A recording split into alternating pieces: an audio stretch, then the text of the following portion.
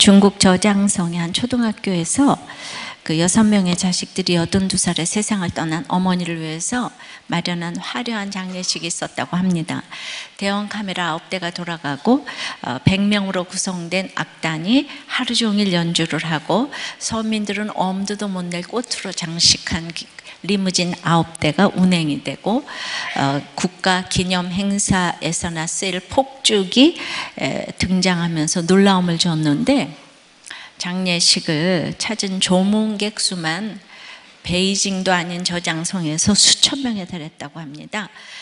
그런데 알고 보니까 이 모든 사람들을 다 돈으로 사서 데리고 왔다고 합니다. 이것은 논란이 되어서 정부가 장소를 제공한 학교 관계자를 파면시키는 등 수습에 나섰다고 합니다. 돈이 많다고 화려한 장례식을 하는 것이 아닙니다. 오늘 본문에 험악한 세월을 살았다고 고백했던 야곱이 147년간의 생을 마치고 이 세상을 떠납니다. 그래서 아들 요셉이 아버지 야곱의 장례를 말할 수 없이 거창하게 치르는 어, 장면이 나옵니다. 야곱의 장례식과 중국 부인의 장례식은 무슨 차이가 있을까요? 야곱의 장례식을 통해 우리는 무엇을 깨달아야 할까요? 왜 이렇게 화려한 장례식을 할까요? 야곱이 야곱의 장례식이 성경에서 가장 화려합니다.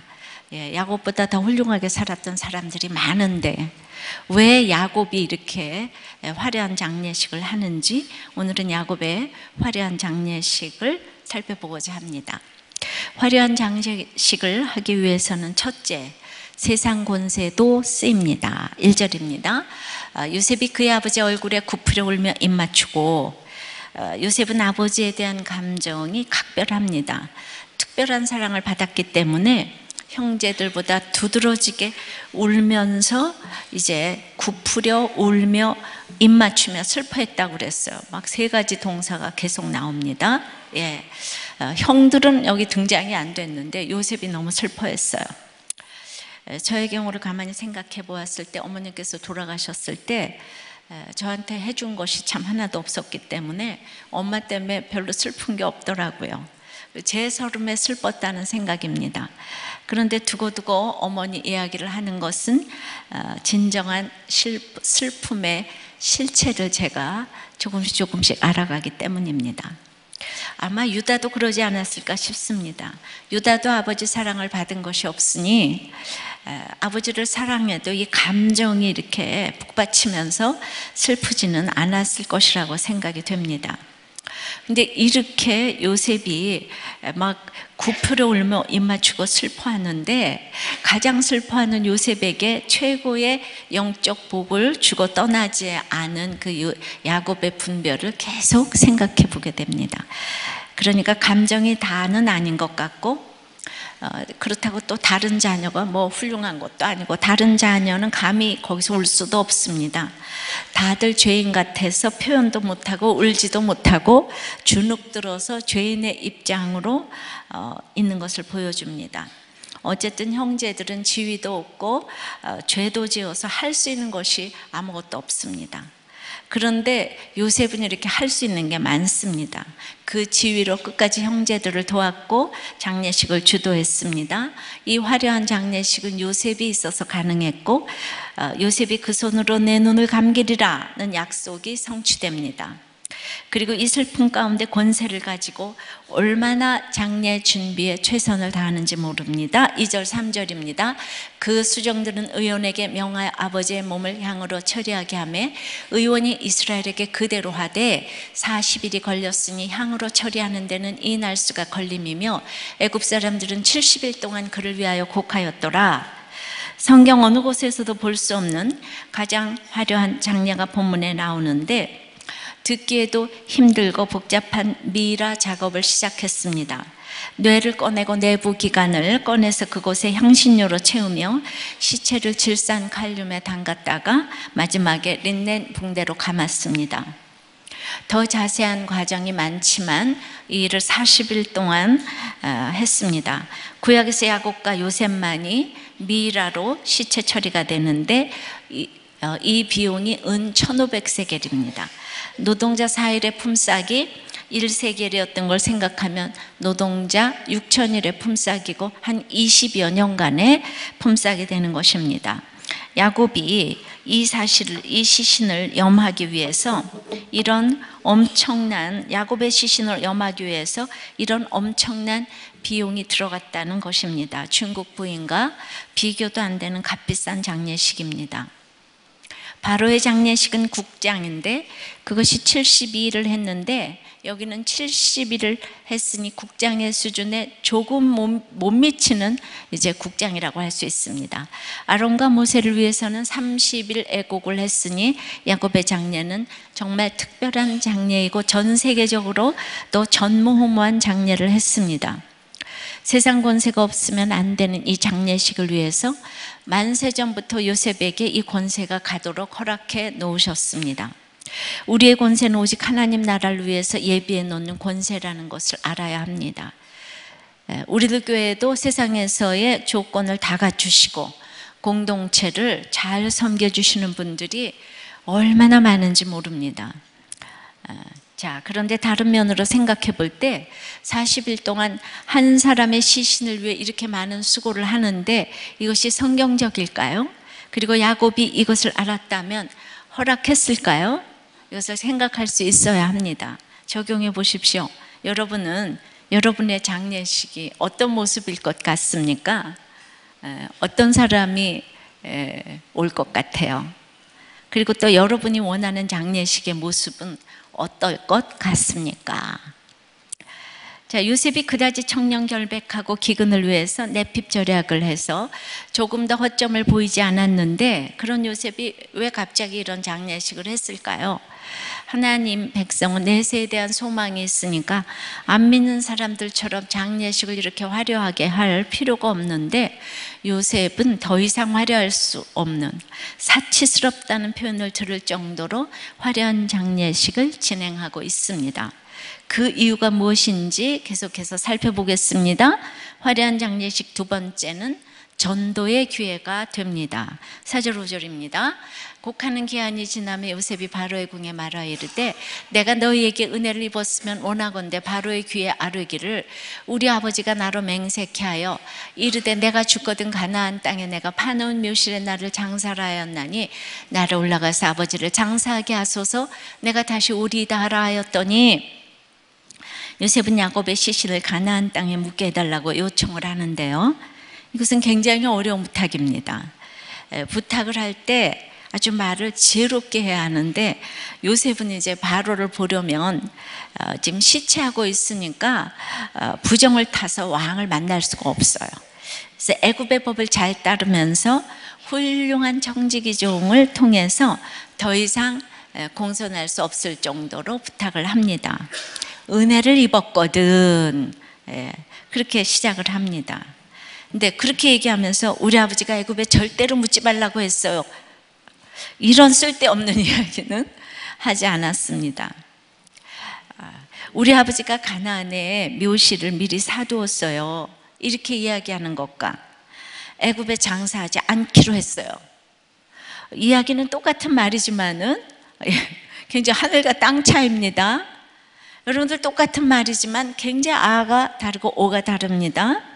예전에 어떤 목자님이 세 가족이 오셔서 목장에서 간증을 하시는데 내가 오늘 어디를 가다가 교통사고가 났다고 칩시다. 또 새로 오신 당신도 어디 가다 교통사고가 나서 죽을 수 있다고 칩시다. 이렇게 이야기를 했다고 그래요. 그래서 제가 처음 오신 분께 그렇게 이야기하시면 안 되고 그렇게 복음 제시를 하시고 싶으시면 오늘 나와 형제님이 어, 오늘 밤 이 세상을 떠날 수도 있다고 생각해 보시면 어떨까요? 이렇게 얘기를 하시라고 그랬어요. 근데 또 맨 마지막에도 이랬대요. 나도 대단한 놈이지만 당신도 참 대단한 놈이요. 이렇게 얘기를 했다는 거예요. 그래서 제가 그래서 그분이 다시 오실 것 같아요. 그랬더니 아니요. 예. 그러면 그뭐 하려고 지금 그렇게 얘기해서 복음 제신 왜 하고 그 그분의 이제 그이 속에 마음은 다 이해가 가지만은 어, 말을 그렇게 함으로 어느 날부터 기분이 더럽다고 이제 갔을 거 아니겠어요. 요셉은 어, 그러면서 이제 날 올라가서 장사하게 해달라고 부탁을 했습니다. 이때는 가나안이 성지이기 때문에 올라간다는 표현을 합니다. 은연중에 애굽보다 가나안을 높였습니다. 장사하러 가나안 땅에 간다고 이야기를 했는데 왜 초라한 곳에 가겠다고 하지? 했을 겁니다. 세계 최고의 강대국이 애굽이고 여기 화려한 장례 문화가 있고 미이라가 있고 너무 훌륭한 돌무덤이 있는데 왜 그렇게 강을 건너서 가려고 하지? 이렇게 물음표가 생길 수도 있지만 야곱이 여기 17년을 화려하게 살았어도 나는 여기 묻힐 생각이 없다는 뜻입니다. 우리는 선산에 간다는데 뭐가 힘든 요청이야. 그동안 그렇게 애굽을 도왔으면 이렇게 생각할 수 있겠지만 그런 얘기가 아니고요. 여기서 가나안은 천국을 예표하고 애굽은 세상을 상징합니다. 요셉이 더 화려한 곳으로 간다고 해야 기분이 나쁜데 더 초라한 곳으로 간다니 생각을 해봅니다. 선교도 더 초라한 곳으로 간다고 하니 박수를 쳐줍니다. 요셉도 총리가 되어 나는 새도 떨어뜨리는데 더 초라한 곳으로 가겠다고 하니 반대는 못하지만 생각을 하게 되는 것입니다. 왜 갈까? 세상은 이해하지 못합니다. 이 세상은 만몬신을 섬기고 있기 때문에 돈이면 다고 쾌락가 아니려면 다인데 말입니다. 그래서 이것이 전도가 되는 것입니다. 안 믿는 사람이 죽었다 깨어도 못할 일을 요셉이 부탁을 하는 것입니다. 그러니까 바로가 계속 이상하다고 생각할 법합니다. 저시후에 사지를 간다고 하지? 거기 불편하고 화장실도 없는데 왜 간다고 하지? 이런 생각이 드는 것입니다. 남들로 하여금 아니 근데 왜 그런 일을 하세요? 아, 편하게 살 수 있는데 왜 그런 일을 하세요? 어, 이런 것을 물어보는 여러분들이 되셔서 모든 삶이 전도의 기회로 삼게 되었으면 좋겠습니다. 몇 주 전에 아신 분은 아시겠지만 창세기 38장 유다와 다말 설교를 했습니다. 그는 나보다 옳도다. 이제 그날 부목사님의 딸이 태어났습니다. 이제 그날을 기념하기 위해서 이름을 유다라고 할까 다말이라고 할까. 아 그래서 그건 너무한 것 같아서 그럼 두 개 합쳐서 유말이라고 할까. 아, 근데 유말을 받아들였어요. 어, 근데 이제 그건 너무한 것 같아가지고 생각하다 유다를 거꾸로 다유로 하기로 했습니다. 근데 한자에도 다가 마늘 따자가 있고 아버지 따자가 있더라고요. 그 다음에 깨우칠 유라는 뜻이 있어서 정 목사 자신이 아버지 때문에도 힘들었지만은 영육간의 아버지로부터 깨우침이 흘러왔고 성경에서 가장 유명한 구속사의 구절인 그는 나보다 옳터다를 영원히 기념하는 다유로 정하게 되었습니다.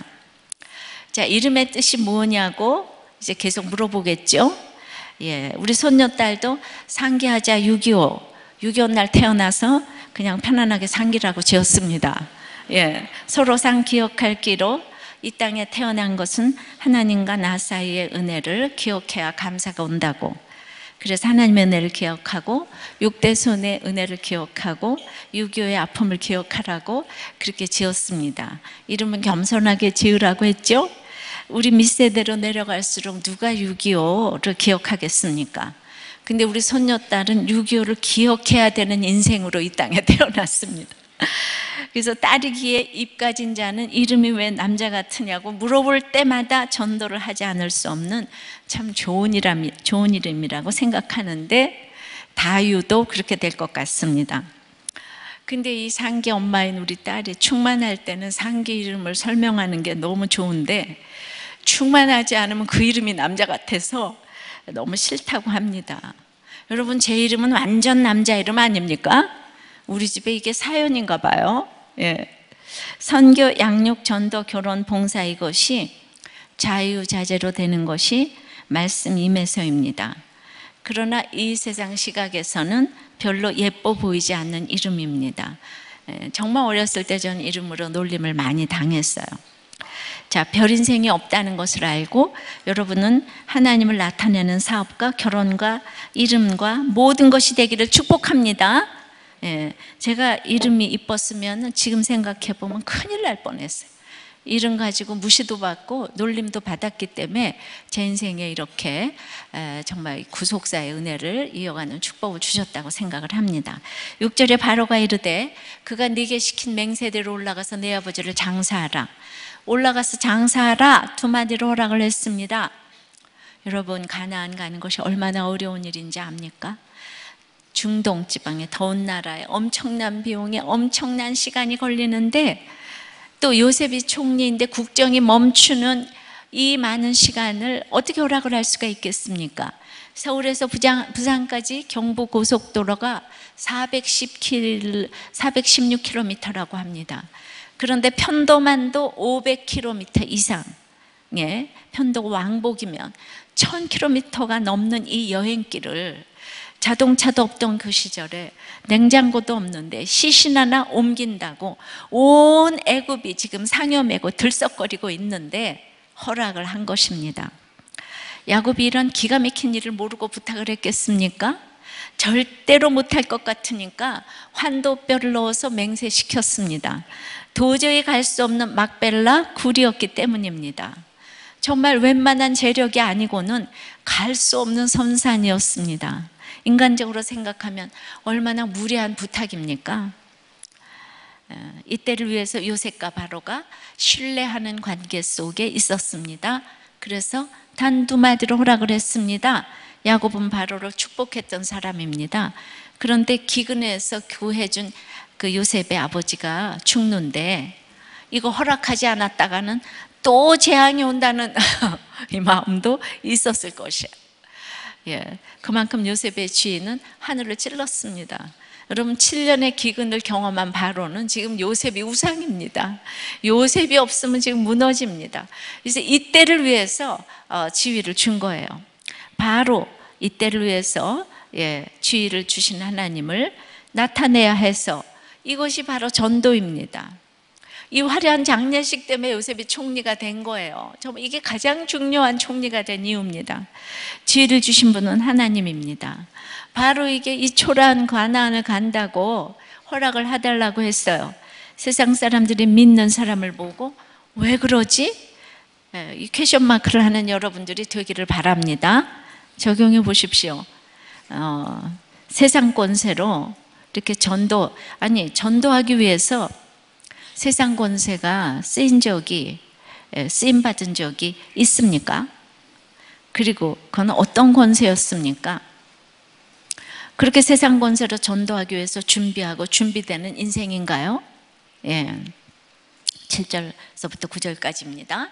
요셉이 자기 아버지를 장사를 올라가니 바로의 모든 신하와 바로궁의 원로들과 애굽 땅의 모든 원로와 요셉의 온 집과 그의 형제들과 그의 아버지의 집이 그와 함께 올라가고 그들의 어린 아이들과 양떼와 소떼만 고센 땅에 남겼으며 병거와 기병이 요셉을 따라 올라가니 그때가 심히 컸더라. 예, 모든 어, 애굽의 예, 원로, 바로궁의 원로, 애굽 땅에 모두 있는 원로. 그러니까 모든 어, 애굽의 족속과 요셉의 온 집이 떠났는데 요셉 집은 아이들과 소떼 양떼만 빼고 갔대요. 어, 이 집의 아이들은 영적 후사니까 여기는 남겨둬야 될 필요가 또 있었다는 생각이 듭니다. 자, 아, 이 모든 관리가 장례 행렬에 동참했습니다. 이 가나안 행이 무엇을 어, 의미하는지 애굽 사람들은 지금 온 몸으로 배우고 있습니다. 아, 이것은 참 특별한 것이구나 하면서 바로를 축복한 야곱의 죽음이 온 애굽에 애도를 받아내고 있는 것은 신학적으로 큰 의미가 있습니다. 지금까지 아브라함, 이삭, 야곱으로 내려온 개인 구원이 이제는 열두 지파를 통해서 선민으로 신자 불신자 가운데 새로운 하나님의 나라로 들어가면서 개인의 윤리가 사회 윤리로 바뀌는 나라적인 사건인 것입니다. 믿던 안 믿던 이것이 이루어져야 해서 이러한 화려한 장례식을 통해서 애굽이 가나안 땅으로 다 같이 가는 모습을 보여주어야만 합니다. 그런데 그 역할을 가장 험악한 인생을 살았던 야곱이 했습니다. 야곱은 그래서 정말 구속사의 사람이고 어, 이 역할을 했기 때문에 창세기는 25장부터 절반을 차지하고 있는 야곱의 행전이라고 해도 과언이 아닙니다. 신자 불신자가 모이기 위해서 요셉은 애굽의 장례식 방식을 따랐습니다. 왜냐하면 히브리 방식으로 하면 아무도 못 볼 거잖아요. 애굽 사람이. 세상에서 복음을 전하기 위해서 어, 사니까 세상 사람이 참여하지 못하게 하면 안 됩니다. 그 당시 애굽의 방식은 애굽의 고위직이 죽으면 이런 방식으로 장례를 했는데 요셉이 이것을 거절하면 아주 그 불편한 관계가 됩니다. 요셉이 애굽을 위해서 기근에서 구해 주었기 때문에 애굽의 모든 관리들은 너무나 조의를 표하고 싶은데 그것을 일부러 막을 필요는 없습니다. 그것을 굳이 막는다면 비본질을 위해서 본질까지 훼손할 수 있기 때문입니다. 근데 미라를 만들어 놓고 보니까 여행할 때 썩지 않아서 너무나 좋은 것입니다. 할렐루야. 예, 믿는 사람은 그렇게 할 필요가 없지만 이때는 그렇게 화려한 장례식을 해야 될 필요가 있습니다. 하나님께서 다 협력하여 선을 이루게 해주셔서 신자 불신자가 전부 떠나면서 참으로 한 시대가 끝나고 시작하는 것을 확실히 보게 하십니다. 10절입니다. 그들이 요단강 건너편 아다 타작마당에 이르러 거기서 크게 울고 애통하며 요셉의 아버지를 위하여 7일 동안 애곡하였더니 이 요단강을 건너서 이 행진을 했다는 것인데 이 길은 나중에 이스라엘 백성이 출애굽을 할때 다시 와야 다시 가보는 길이 되는 거예요. 다시 가보는 길이었습니다. 지중해 길을 따라간 것이 아니라 사람이 없는 광야길을 돌고 돌아서 천천히 갔기 때문에 이 길을 다시 그대로 오라고 가르쳐 준 하나님의 묘략입니다. 이렇게 화려하게 하지 않으면 이스라엘 백성이 400년 동안 노예 노릇하다가 이 기가 막힌 기억할 장, 화려한 장례식이 없었다면 출애굽하지 못했을 것입니다. 예. 그래서 하나님 이스라엘 백성들에게 이 전설적인 일을 날마다 구전으로 내려오게 하셨어요. 우리 조상 야곱이 얼마나 화려한 장례식을 했는가. 애굽 전역이 일어나서 우리 조상 야곱을 기렸다. 어, 제가 산기름을 지어놓고 쟤는 정말 어쩔 수 없이 전도를 해야 하는구나 라고 생각을 합니다. 막벨라 굴에 오는 것은 어, 힘든 일이지만 반드시 와야만 하는 것입니다.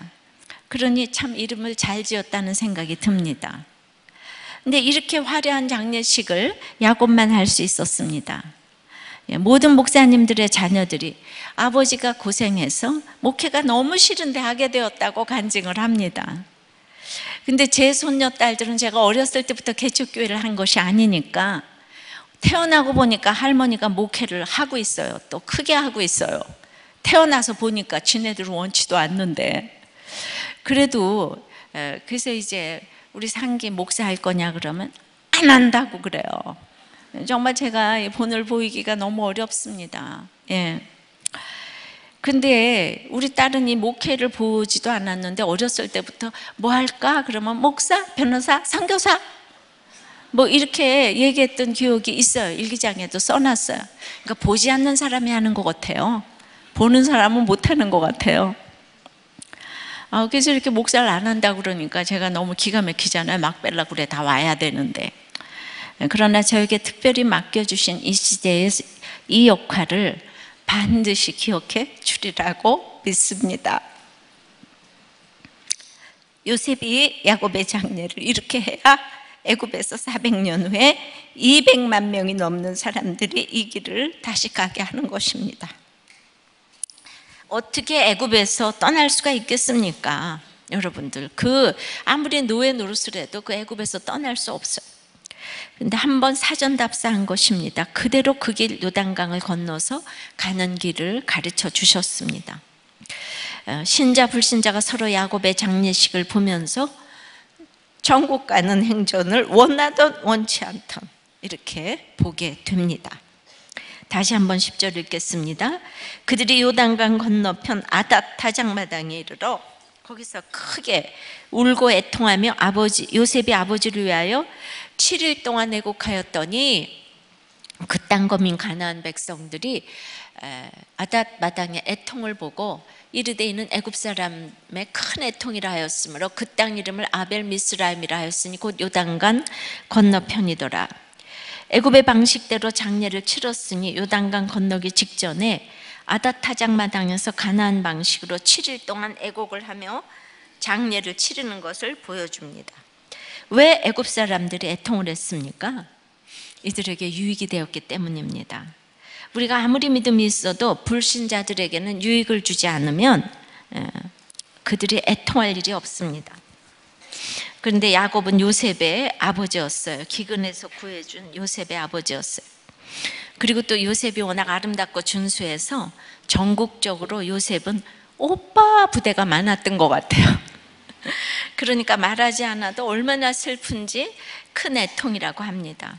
이것도 기념하고 기록해야 되기 때문에 아벨 미스라임이라고 크게 기록을 하고 그 대단한 대단한 애굽 사람들이 히브리 사람을 위해서 크게 애통한 적이 있다는 것을 기념하게 했습니다.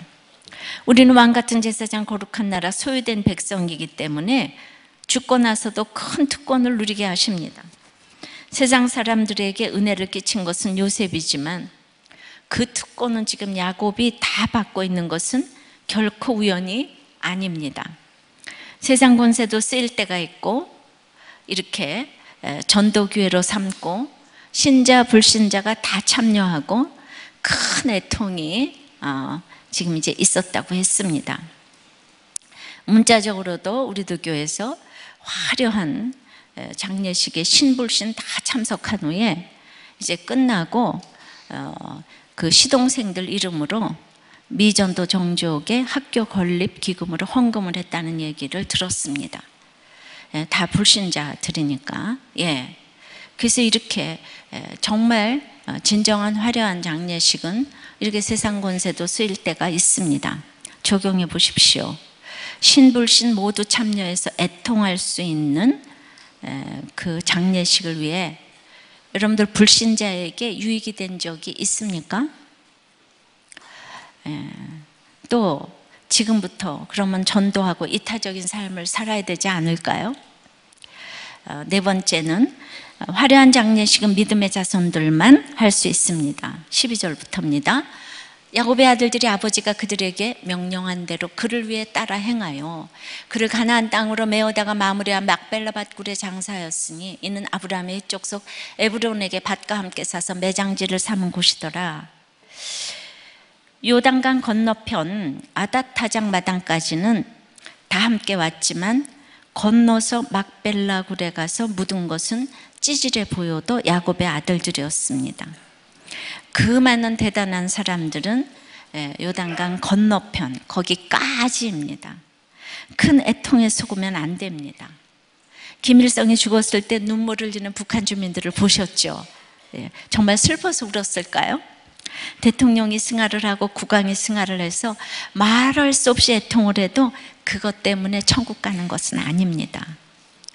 여기 소유 매장지를 삼은 것이란 것은 대대로 물려줄 재산이라는 뜻인데 계속 소유 매장지를 강조하는 것은 어, 가나안은 언약의 땅이고 믿는 내가 가야 할 땅이고 소유해야 할 땅이고 영적 매장지라는 것입니다.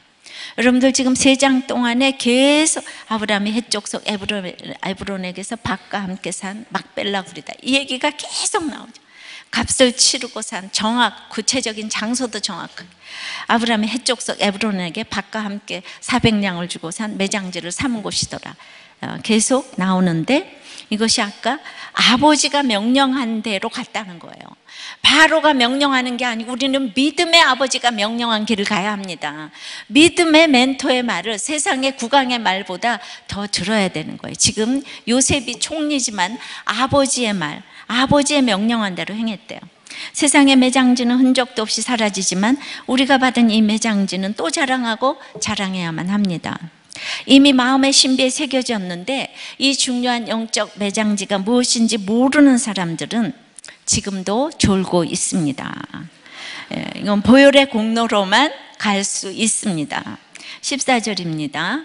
요셉이 아버지를 장사한 후에 자기 형제와 호상공과 함께 애굽으로 돌아왔더라. 막벨라굴은 아무나 가는 곳이 아닙니다. 공인인 요셉이 하루라도 직무를 태만히 할 수 없는 세계 최고의 총리인데 내가 어떻게 자리를 비우고 거길 갈 수 있어요? 이름 못 가는 거잖아요? 나 하나님 아버지 대신인 야곱 아버지의 명을 쫓아갔다 왔어요. 우리에게 정말 막벨라굴에 가지 못할 일은 너무나 많이 있습니다. 얼마나 어려우면 환도뼈 맹세를 시켰겠습니까? 내 자식이 다 막벨라굴에 갔으면 좋겠다고 해도 이거 예수 믿으면 좋겠다고 해도 내 자식이 다 딴소리 합니다. 지난번에 김 집사님 임종시에 그토록 안타깝게 유언을 하면서 예수님을 믿을 것과 교회를 나갈 것과 목장에 나갈 것을 그냥 약속 도장 복사 그냥 도장 꽝꽝 찍었는데 예, 특별히 그 아들의 친구를 기억할 것입니다. 그래서 제가 청년부 예배 때 그 왔는가 그때 손을 안 들었어요. 여러분 막벨라굴이 가기가 그렇게 어렵습니다. 그리고 이제 이것이 몇 년 전에 어, 이분이 너무너무 놀라운 이 전도를 해서 그때 읽어드렸어요. 그리고 이번에 내가 이 집 식구들이 지금 교회를 다 열심히 나오나 내가 알아봤더니 그 아빠하고 아들은 아직도 목장에 안 나간다고. 예, 딸은 열심히 나가지만. 그래서 이제 그리고 몇 사람 전도한 사람들이 있는데 떠나고 파킨스시 병 걸렸던 그분은 돌아가셨는데 남편도 나오다가 이제 안 나온다고. 여러분 막벨라 굴 오다가 다 돌아가는 사람이 한둘이 아니에요. 너무 덥고 어려워가지고. 그랬는데 이제 몇 분이 계시잖아요. 그 전도한 분이. 특별히 지난주에는 모두 빠졌다는 얘기를 들었어요. 근데 이분이 정말 하늘나라에서도 슬퍼하기 때문에 저에게 설교를 다시 시킨 게 아닌가 싶습니다. 그분이 정말 간절하게 이렇게 복음을 전하고 갔는데 여러분 우리 김 집사님의 가족 여러분들 정말 전도한 언니 여러분들 다 막벨라굴에 들어오셔서 우리 다 같이 천국에서 만나서 김 집사님 만나시기를 바랍니다. 가나안까지 더워서 못 가요. 우리도 께도 오죽 덥습니까? 예, 지금 휘문은 너무 더워요.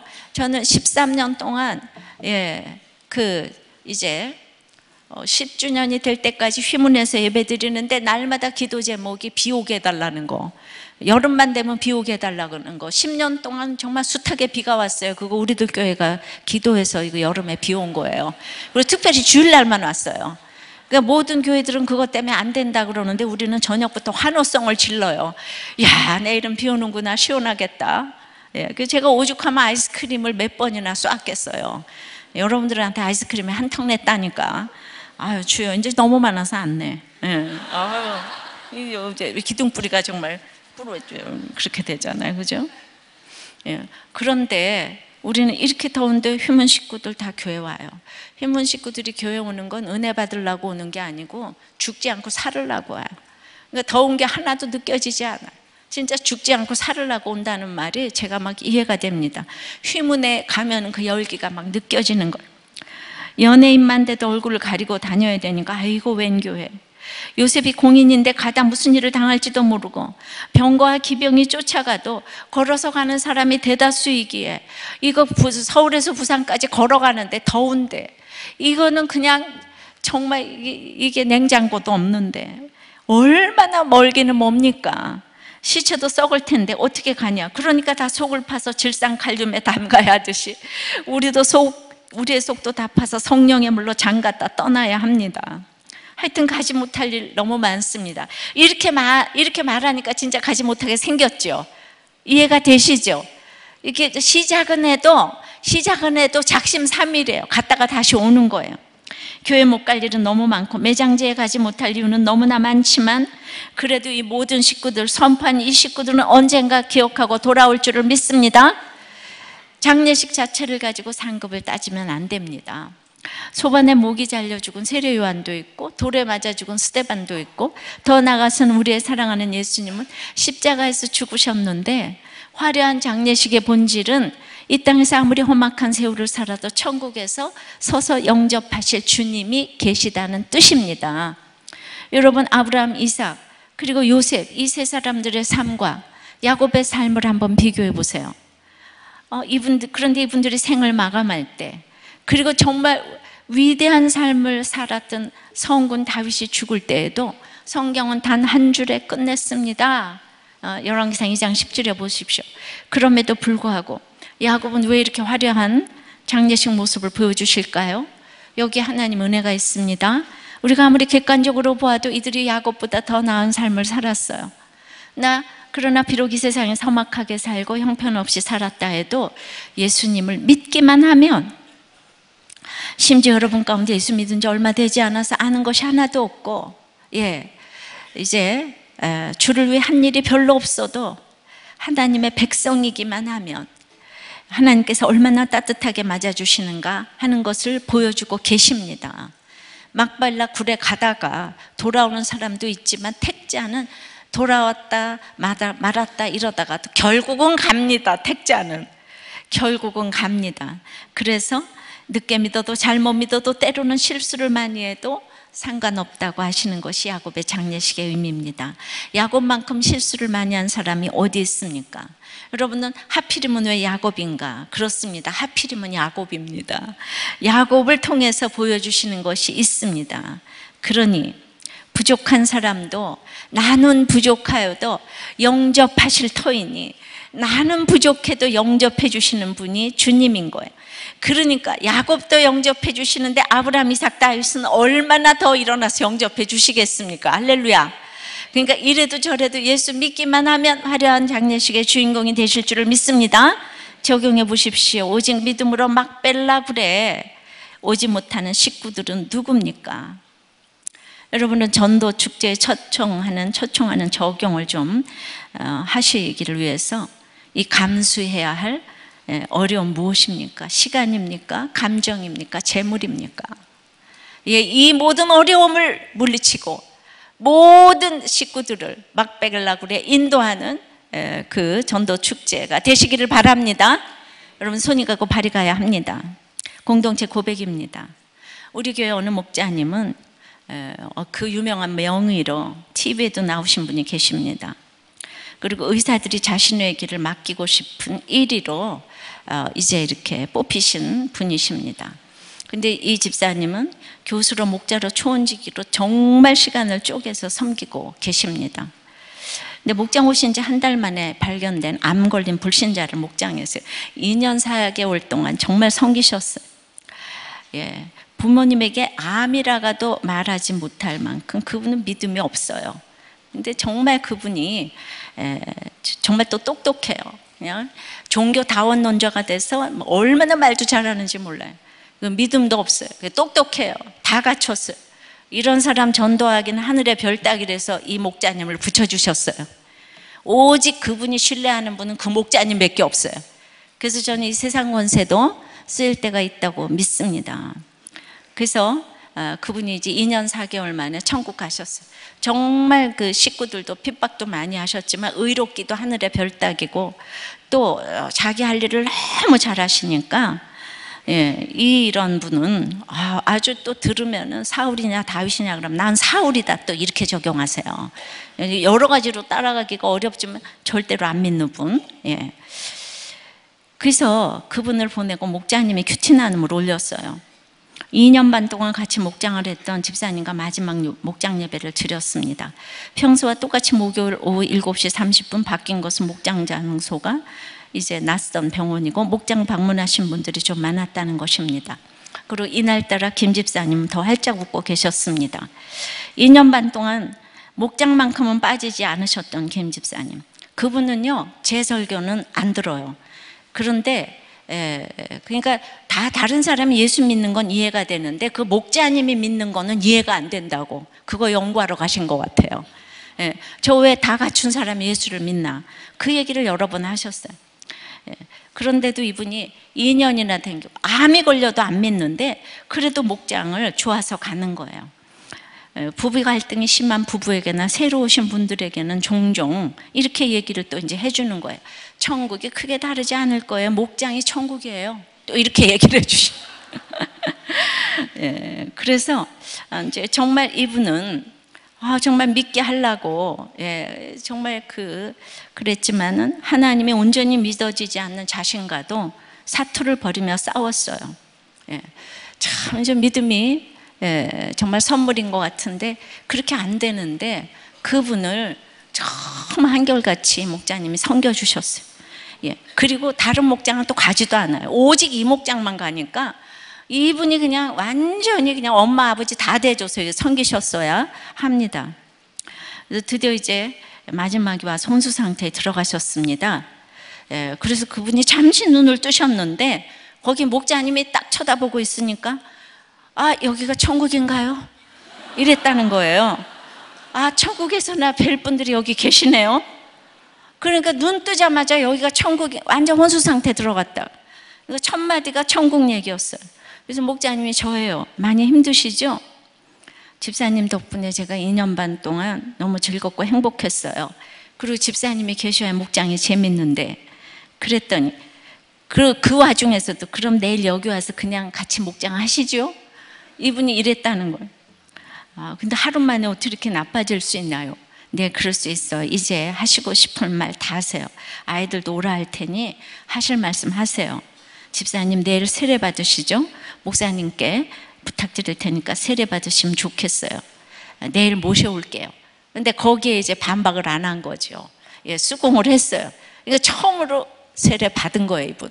예. 예. 그러면서 몸이 좀 불편해서 멀리 못 나가요. 한결같이 미소를 띠면서 나오지 마세요. 내일 또 올게요.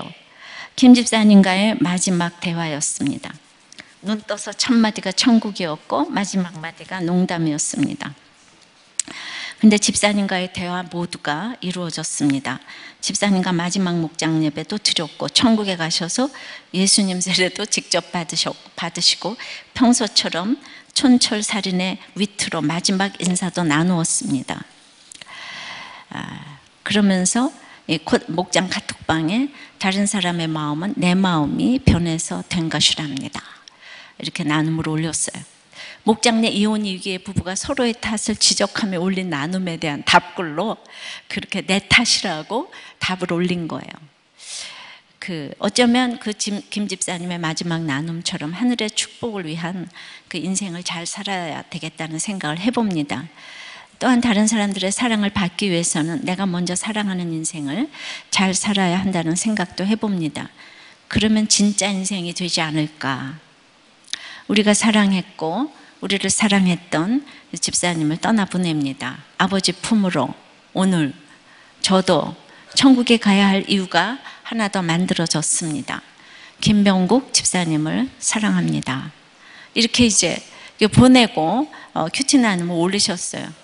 이 QT 나눔을 읽고 집사님들의 그 다신 리플들을 제가 또 좀 읽어드리겠어요. 하나님은 실수하지 않으신다는 것을 새삼 다시 깨닫습니다. 저도 한때 힘들다고 자살까지 시도하다가 바닥을 치고 하나님을 만났으니까요. 집사님 천국에서 만나요.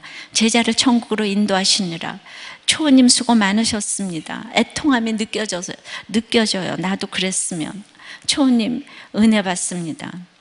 또 또 어떤 분은 카톡방에서 야구가에서 사이에서 항상 갈등하시던 집사님이 저에게는 무척이나 인상적으로 다가왔었습니다. 저에게 어떻게 예수님을 만나는지 알 수 있냐고 강한 어조로 물어보시던 김 집사님. 그만큼 강렬한 주님에 대한 갈증과 갈망이 있었기에 하나님께서 택자로 불러주셨다고 생각합니다. 목자님 권찰님의 무한한 헌신과 목장 식구들의 사랑 기억하고 가셨으리라 믿습니다. 고생 많으셨습니다, 목자님. 또 한 분은 목자와 목장 식구들의 기도와 눈물과 헌신에 달콤한 구원 열매를 맛보게 해주셔서 감사합니다. 목양의 본을 보이신 초우님 참으로 수고 많으셨습니다. 초우님의 성김으로 어, 김 집사님도 천국으로 평안히 가셨을 것입니다. 그동안의 수고를 하나님께서 기억해 주실 줄로 믿습니다. 또 한 분은 많은 장례를 참석하고 3년 가족상을 치렀지만 김 집사님의 장례는 저에게도 마음속에 깊은 인상을 남기고 가셨습니다. 남은 자로 많은 메시지를 주고 가신 집사님, 생애 마지막 끈을 붙잡고 놓으시는 만큼 목장 식구들에게 선물을 주고 가신 집사님 끝까지 사명 잘 감당하고 가셨습니다. 목자님도 저도 모든 목장 식구들도 먹먹한 한 주를 보내고 있지만 기쁘게 보내드리려 합니다. 목자님 고생 많으셨고 한 영혼의 구원을 위한 헌신과 수고하신 모두에게 박수 쳐드리고 싶습니다. 또 한 번은 오늘 나눔에 가슴 먹먹한 여운과 찔림을 나누는군요. 남기는군요. 그가 나를 미워하는 것은 내가 그를 미워하는 마음이 변해서입니다. 명심하겠습니다. 예, 이 목자님은 그 장례식에서 믿는 사람이 없는 그 가족의 상주와 마찬가지 역할을 해서 사흘 내내 가서 거기를 지키고, 예, 그 바쁜 분이요. 예, 그 지키고 모두를 그렇게 해줄 수는 없습니다. 근데 그분이 오직 이 목자님만 따르니까 그렇게 열심히 가서 섬기더니 그 주일에 11명의 불신자 식구들이 모두 교회에 오시는 그야말로 화려한 장례식을 치렀다고 생각을 합니다. 할렐루야. 요즘 제가 남자 초원님들의 이렇게 나눔을 많이 전해드리고 있는데 이게 남자분들이 전도 참 잘 안 하시거든요. 그래서 정말 예 이것이 평범해 보이지만 너무나 귀하고 이분이 예, 그 세상 권세도 썼고 이걸 전도의 기회로 삼았고 또 장례식에도 신불신 다 같이 애통하는 모습을 보였고 이 믿는 목자님이 장례식의 주인이 되어 가족들을 주님께 인도하는 명실공히 화려한 장례식을 치루었다고 생각을 합니다. 전도 축제를 앞두고 우리가 도전받아야 될 일이 너무나 많이 있다고 생각을 합니다. 여러분들의 모든 것을 다 동원해서 아, 주님께 인도하는 여러분들 되시기를 바랍니다. 아, 말씀 맺겠습니다. 화려한 장례식은 세상 권세도 필요합니다. 전도의 기회가 되어야 합니다. 신자 불신자가 함께하는 애통이 있습니다. 예수 믿고 가는 것이 가장 화려한 장례식입니다. 나는 우리 초원님이 그 장례식 동안 내내 그 병원에서 산다는 얘기를 듣고 제가 너무 그때 감동을 했어요. 이 바쁜 분이 그분은 떠나면 그만인데 그렇게 정말 섬긴다는 그 얘기를 듣고 여러분들의 우선순위가 어디 있는지 생각해 보시기를 바랍니다. 오늘 이제 우리가 야곱을 보냅니다. 우리 모두 한 장례식장에서 야곱을 보내면서 나는 부족하여도 영접하실 그 주님을 찬송하면서 주님께 나가기를 원합니다. 찬송하고 기도하겠습니다. 하늘 가는 밝은 길이 말씀을 마음에 새기며 찬양합니다.